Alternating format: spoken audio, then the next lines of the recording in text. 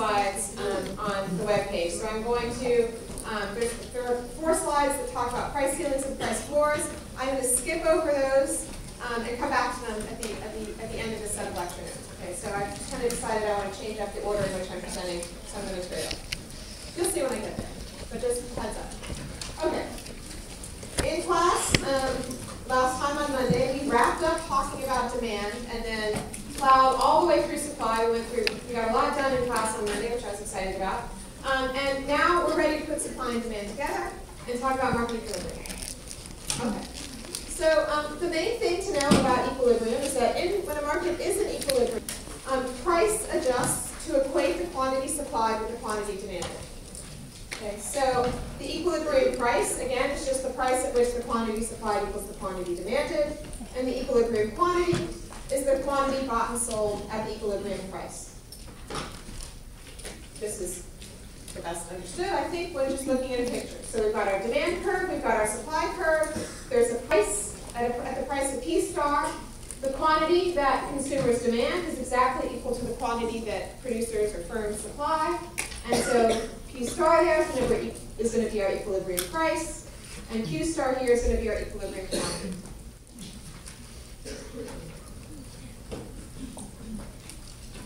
So let's talk a little bit about, you know, why that's the equilibrium price. I mean, it's pretty obvious that, um, that this that that's the price that equates the quantity supplied and the quantity demanded. But you know, what would happen if equilibrium price were a little bit, for example, higher? So let's suppose that we pick a price up here.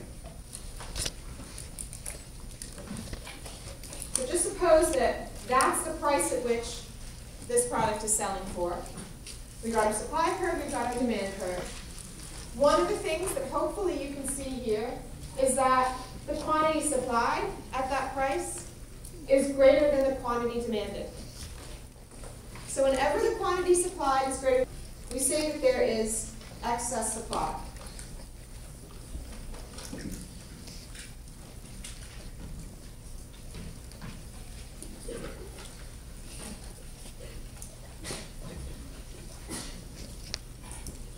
So if you're a producer and you have produced a bunch of stuff, and you've got a whole bunch of it sitting around, sitting on the shelves of your store, no one is, is buying it, what are you going to start to do?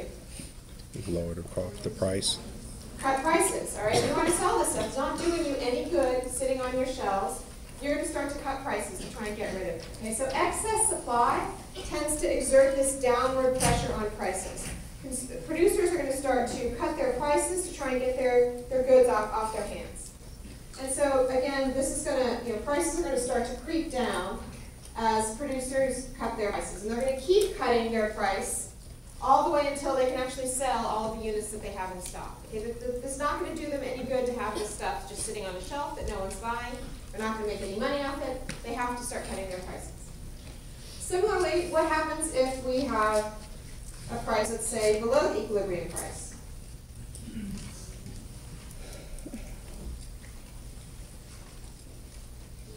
You double that. So now what do we have? Now we have that the quantity demanded is greater than the quantity supplied. So this is a situation that I'll call excess demand.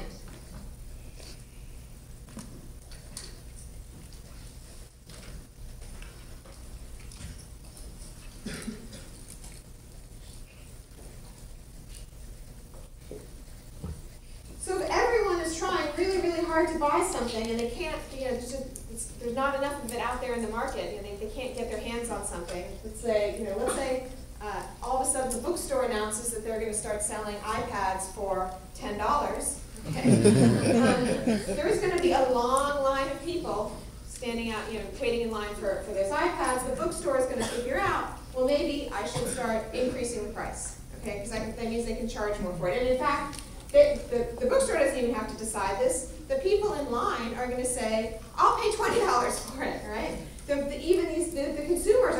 bidding up the price because they want to get their hands on this iPad.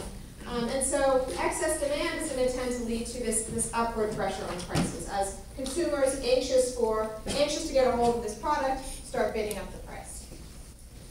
And that's going to continue to happen all the way until, again, there's no more excess demand.